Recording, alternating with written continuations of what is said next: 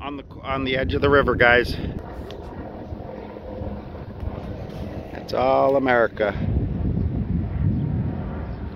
And this big fence here, it's to keep those mean Americans out. We're ready for you, America. Thanks for joining me.